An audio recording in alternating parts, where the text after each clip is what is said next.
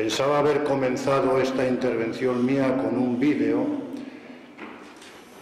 que habría servido muy bien de introducción, pero resulta que estamos aquí encriptados, estamos en una cripta y por eso no podemos o no tenemos acceso a desencriptar las nubes del, Internet. En cualquier caso, ese vídeo lo tienen en YouTube, eh, ese y otros vídeos, y son todos sumamente recomendables. Lo que se encuentra en ellos es algo muy sencillo.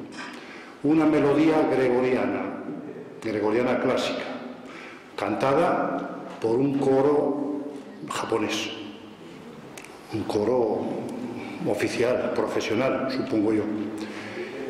Y después, la misma melodía melodía, melodía con letra latina, cantada por unos viejos, unos pobres viejos, sentados allá que parecen estatuas, japoneses también, en latín, pero en un latín, no un latín macarrónico, un latín que no parece de ninguna forma latín, totalmente distorsionado, pero que es latín. El vídeo que yo pensaba proponer cantaba o canta el Salmo 116-117 que es el Salmo Laudate, es el salmo más breve del, del Salterio. Son cuatro versillos.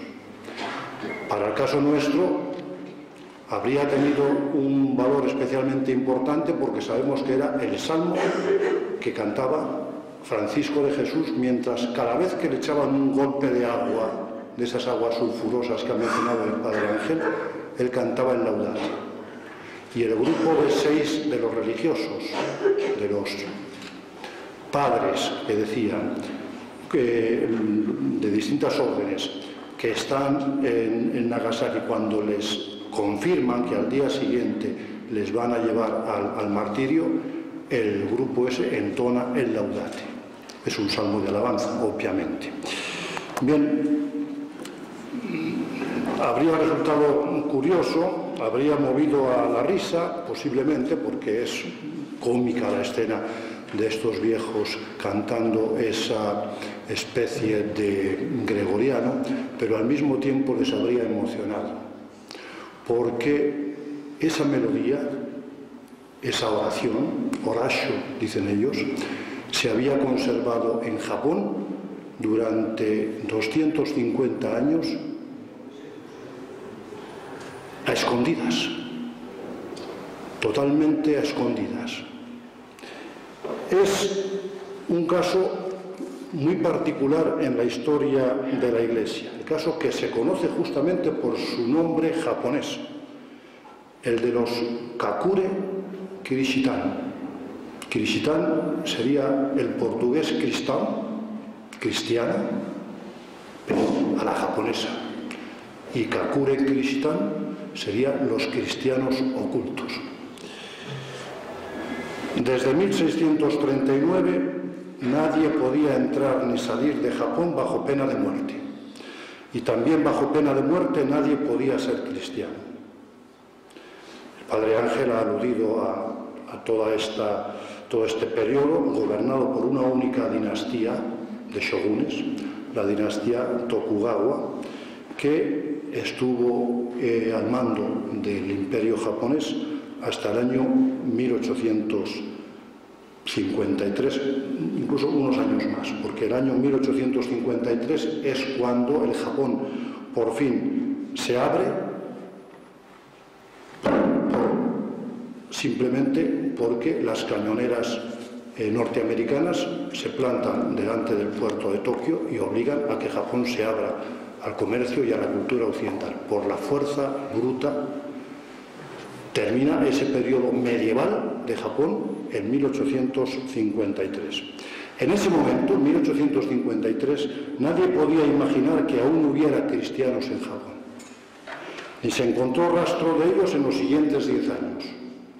El 17 de marzo de 1865 ya, un misionero francés de los primeritos que entran, el padre Bernard Petitjean, de las misiones extranjeras de París, no se podía creer que fueran cristianas aquellas mujeres, un grupo de mujeres japonesas, que les, sometían a un auténtico interrogatorio encerraron en la iglesia, jugándose el tipo, porque estaba totalmente prohibido acceder a esa iglesia que era solo para occidentales. Pero ellas se metieron y le hicieron varias preguntas al, al misionero, que no salía de su asombro.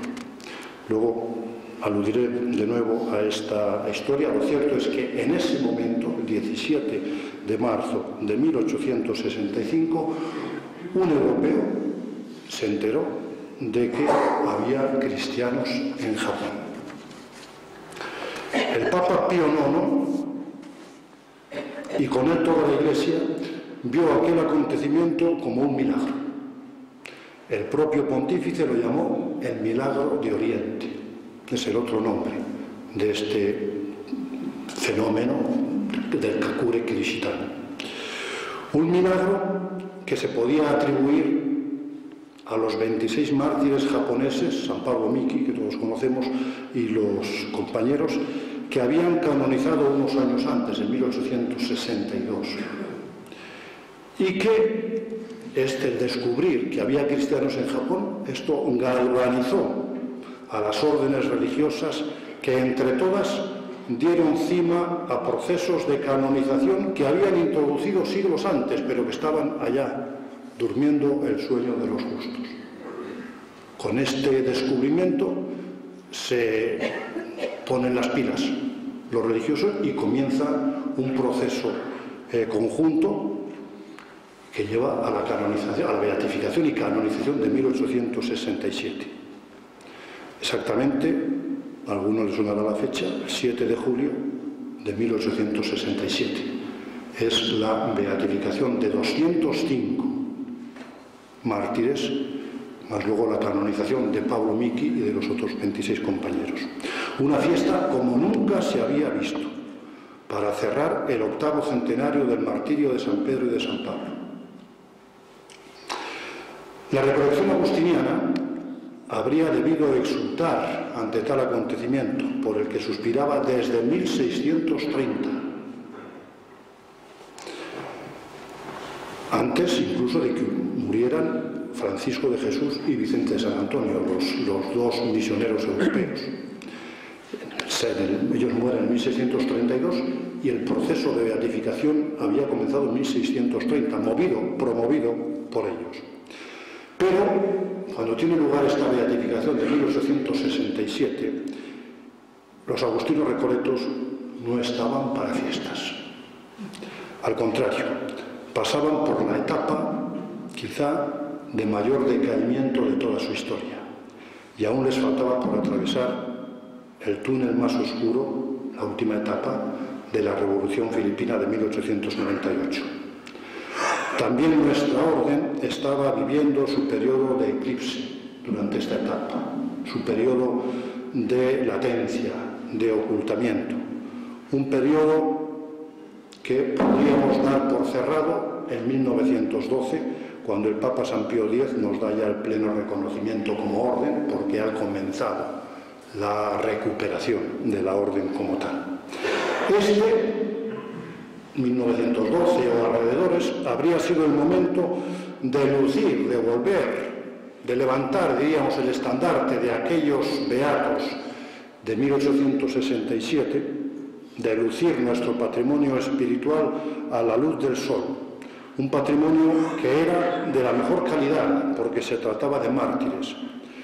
Pero el ocultamiento, volvemos, el hilo conductor es siempre este, el kakuri, oculto, ocultamiento, latencia, desconocimiento, oscuridad, como queramos llamarlo. El ocultamiento siguió existiendo. Habíamos desenterrado el arca del tesoro, nos lo había desenterrado el, Papa Pío IX, pero el arca apenas lo entreabimos. Dentro del arca había un manojo de cartas impregnadas de nuestro espíritu más genuino y lo dejamos de lado, ese manojo. Hubo que esperar hasta 1961 para que uno de nuestros investigadores más ilustres, el padre Genaro Fernández, intentara recopilarlas, todas estas cartas, y ofrecerlas al público o mejor, más que al público, a un círculo reducido de estudiosos, porque lo que él presentaba lo que, y lo presentaba además en latín, era una edición crítica. Después del padre Genaro, después de 1961, hubo otras ocasiones de haber abierto esa arca, pero esas ocasiones providenciales se perdieron. Por ejemplo, la beatificación o la canonización de Magdalena de Nagasaki, 1981 la beatificación o 1987 la canonización.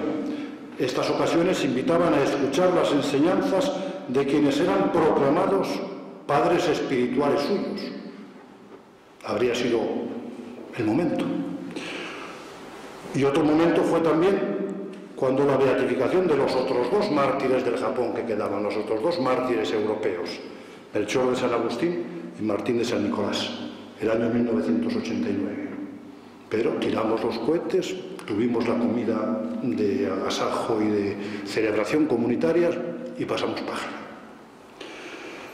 Yo, para entonces, en la década de los 80, ya acariciaba el proyecto, perdónenme esta reflexión o esta alusión personal.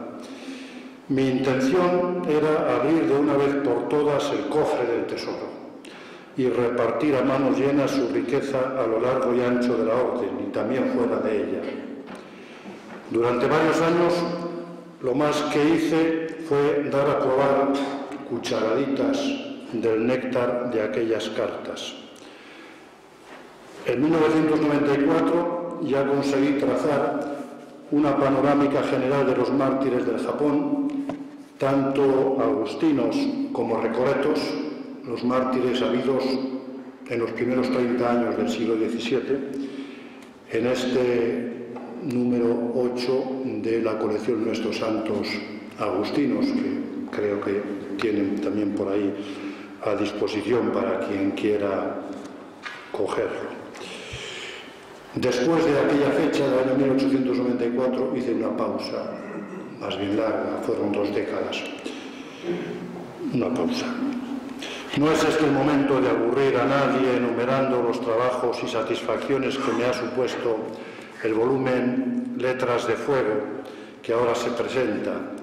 Lo que quiero simplemente es cerrar de una vez por todas la etapa de ocultamiento, de desconocimiento, de desinterés y lo hago ahora ofreciendo al conjunto de la familia Agustino Recoleta el tesoro que supone este epistolario, es el epistolario. En este libro, y no por mérito ciertamente de quien lo firma, en este libro, por mérito de los autores de las cartas, encontrarán las viandas más apetitosas y nutritivas. Llévenselas a casa y disfrútenlas de una vez por todas. Como hilo conductor de mi intervención he elegido el tema del ocultamiento. Y el ejemplo más palmario es el de los beatos mencionados ya varias veces por el Padre Ángel, los beatos Pedro de la Madre de Dios, Agustín de Jesús María y Lorenzo de San Nicolás, sobre los que trata el otro librito, el número uno de la nueva colección Testigos del Reino. Ellos han sido los más perjudicados por el abandono en que hemos tenido el epistolario de sus padres espirituales. En sus cartas, Francisco de Jesús, que era el superior, cabeza de la misión, en sus cartas clama diciendo que los tres beatos, un texto ha leído el Padre Ángel, los tres beatos son religiosos agustinos recoletos, y nosotros no nos hemos dado por enterados, ni nosotros ni la Santa Sede, que no lo he oído constar en el breve de beatificación. Y añado, ya que hay por aquí algún agustino, que lo mismo ocurre con al menos uno de los mártires agustinos de, esta misma, este mismo grupo, el beato eh, Juan de San Agustín, Juan Cocumbuco. Lo mismo, el padre Bartolomé Gutiérrez, mexicano, superior de los agustinos, clama y con voz más fuerte todavía que Francisco de Jesús, eh, dirigiéndose al provincial de Filipinas. Ojo, que este, si muere, muere fraile, como yo, dice. Bueno, pues ahí sigue como más o menos terciario. Estas dos modestas obras, en fin, llegan tarde, sí, pero también en un buen momento, cuando el Japón está hoy día de especial actualidad por los acontecimientos que se han ido sucediendo en los últimos años. En 2015 se cumplían 150 años de la aparición de los Kakure Krishitan, los cristianos ocultos. Y esto se celebró a nivel de, de iglesia. Dos años después, en el 17, fue noticia la beatificación del conocido como samurái cristiano, Don Justo Takayama Ukon, muerto en Manila, por cierto. Este año 2018, este año en que estamos, se están celebrando en varios países, también aquí en España, los 175 años del establecimiento de relaciones diplomáticas con Japón, con cientos de actos que pueden ver en la página correspondiente de la Embajada del Japón. Entre ellos está eh, recogido este acto que estamos celebrando. Y este mismo año también ha tenido lugar, esto era impensable hace unos poquitos años, ha tenido lugar un acontecimiento cultural verdaderamente singular, porque la UNESCO, creo que la fecha era el 24 de noviembre, ahora dudo si era el 14 o el 24 de noviembre, la UNESCO ha incluido en su lista del patrimonio de la humanidad una serie de iglesias y lugares cristianos de la zona de Nagasaki. Entre otros pues, lugares que sabemos que tienen clara relación con Francisco de Jesús o con Vicente de San Antonio. Nosotros, con estos libros, modestamente nos hemos querido unir a estas efemérides. Y termino volviendo a aquella iglesia de Nagasaki donde se presentan las cristianas, aquellas que abordan al padre Bernard Petitjean. Termino recordando la frase que aquellas mujeres de la catedral de Nagasaki le dijeron a este misionero francés, el año 1865. Le hicieron primero tres preguntas. Primero, por la imagen de la Virgen. ¿Dónde está la Virgen? El padre les llevó a donde estaba la Virgen. Después, ¿quién le había enviado? ¿Quién les había enviado? Si era el Papa de Roma. Y el padre Petitjean dijo que el Papa de Roma. Y luego le preguntó por su mujer, la mujer de cada uno. Y le dijo, no, nosotros no tenemos mujer, somos célibes. Y la mujer, la que hacía de portavoz del grupo de aquellas señoras le dijo, tenemos vuestro mismo corazón.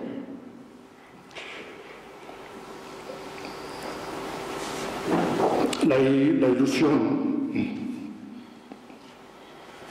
la ilusión que yo tengo es que a partir de ahora descubramos el corazón de los mártires, el de los europeos, por un lado, a esto los conocíamos bastante bien, pero el corazón que se transparenta en sus cartas, que hasta ahora no conocíamos. Y también el corazón de los tres japoneses primeros de una larga hilera de mártires relacionados con la orden. Descubramos el corazón ardiente de ellos y cambiemos nuestro corazón para sintonizar cada vez mejor con el de ellos. Muchas gracias.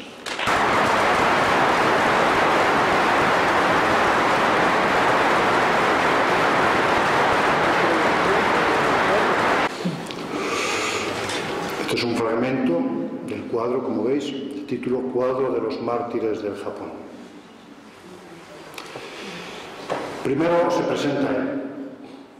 Ahí lo tenéis en pequeño.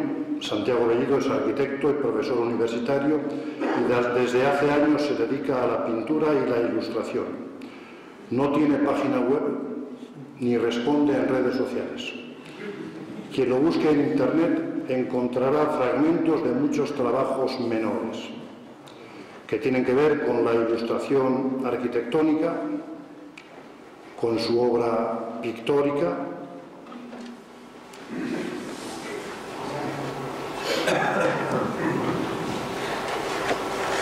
con el mundo de la caricatura, pero aquí las caricaturas se las salta, no sé por qué. con las publicaciones ilustradas, que es algo que corresponde esta imagen que ven aquí, que es una ilustración sobre las pasiones de la Semana Santa de Valladolid. Y encontrarán en buena medida abundantes exposiciones y libros relacionados con temática religiosa a través de encargos particulares o de iniciativas personales. Este encargo, dice él, de los padres agustinos recoletos para realizar una pintura de los tres mártires japoneses, Pedro de la Madre de Dios, Agustín de Jesús María y Lorenzo de San Nicolás, ha supuesto un reto singular e inédito para mí. En él se conjuga la necesidad de atender a especificaciones históricas con la intensidad de la representación del sentimiento religioso. Ello me ha supuesto explorar los límites entre lo racional y lo irracional, supeditando la imagen a la lectura minuciosa de cartas que nos hablan desde otra época y sumergiéndome en los lugares que los artistas deben visitar guiados por los sentimientos propios, por los que desean provocar, y en este caso por los intensos sentimientos de las personas que vivieron acontecimientos pasados. La composición general nace del deseo de buscar dentro de una pintura naturalista el efecto onírico de la pintura expresionista, a través de una disposición en la que las figuras se ubican en grupos compactos se quiere dejar de lado la perspectiva geométrica occidental en favor de una visión más parecida a las escenas orientales basadas en visuales elevadas en las que las figuras parecen flotar o ser vistas desde el cielo. En el centro de la escena, los tres mártires, hombres de edades similares, sin rasgos característicos específicos de los que se conserva la descripción no física, sino de la forma de martirio. Los tres mártires se agrupan en el centro, separados de las otras figuras, casi en otro mundo ya. Se le retrata momentos antes de su muerte. No se ha querido representar sus muertes sangrientas, el respeto a su sacrificio no necesita de la representación explícita.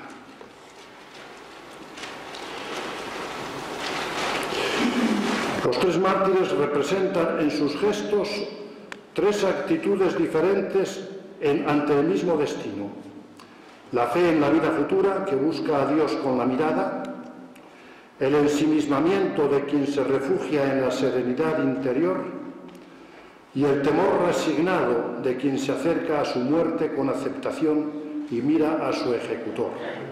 El personaje del centro sería la fe, el personaje que vemos a nuestra izquierda sería eso lo que dice y llama serenidad interior y el personaje más alto sería este que está mm, con temor resignado de quien se acerca a la muerte y dice Bellido, podría quizá definirse como esperanza, fe y caridad.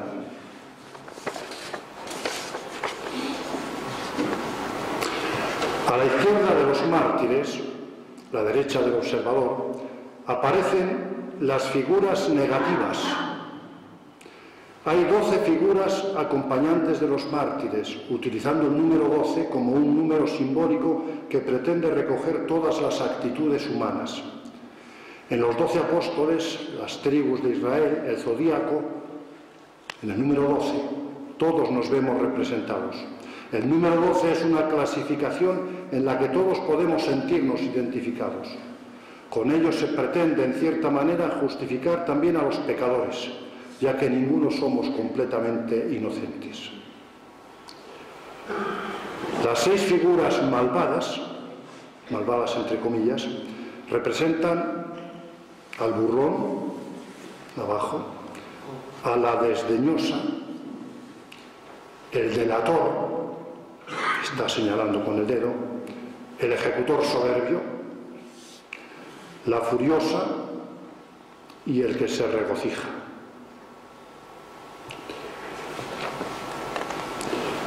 Posturas circunstanciales de las que todos podemos participar en cualquier momento. En el lado opuesto, las seis figuras benignas, que representan cualidades positivas que nos representan igualmente. El angustiado, abajo, la compasiva, el inocente niño, el prudente que sujeta al justiciero, el verdugo obediente que refleja su preocupación mirando con severidad al grupo de la derecha.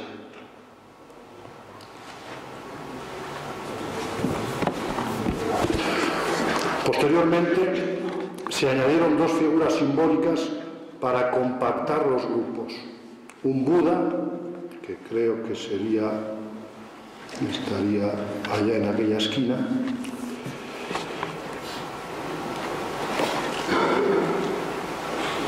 un Buda, representación del siglo y su religión, y un perro, que estaría por aquí.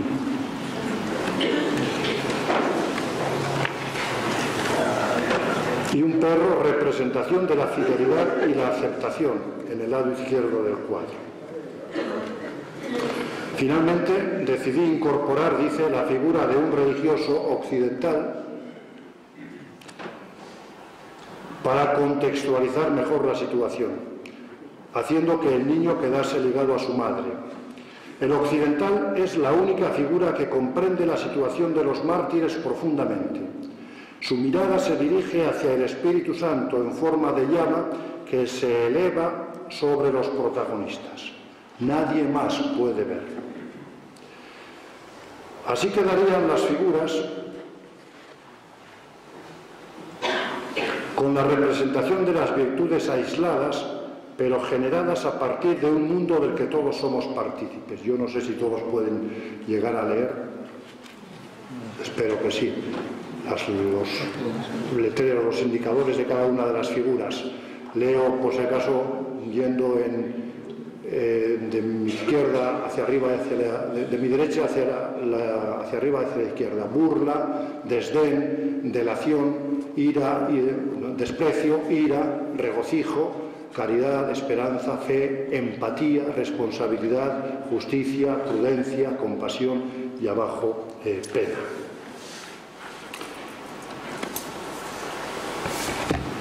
La compacidad, dice, de los grupos pretende potenciar el carácter plástico de la pintura. Hay tres grupos compactos, tres manchas que no llegan a tocarse, como amebas abstractas, dice este primer grupo de los maldados de color rojo. El grupo azul que sería de las figuras que llama el benignas, y el grupo que aquí aparece en amarillo, que sería el grupo de los mártires. Tres grupos, tres mundos que se complementan. Perdón, que me iba.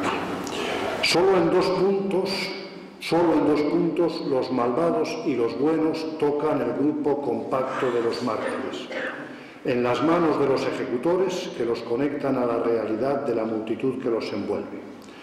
Los mártires en todo su contorno, excepto en, en esos puntos, están rodeados, aislados por el Espíritu Santo en el momento previo a su muerte. En la imagen final, los mártires reciben del mundo, a través de uno de sus verdugos, la muerte. A través del otro contacto con él, este terminará por convertirse. En esta dramática escena, solo una figura mira a los espectadores del cuadro, buscando la identificación y la complicidad. ¿Cuál es esa figura? Se ve poco. La figura es el perro. Es la única que mira al espectador en complicidad. El perro dice aquí, todo esto es frase de Bellido, que nos exhorta a comprender. Y termina él diciendo muchas gracias.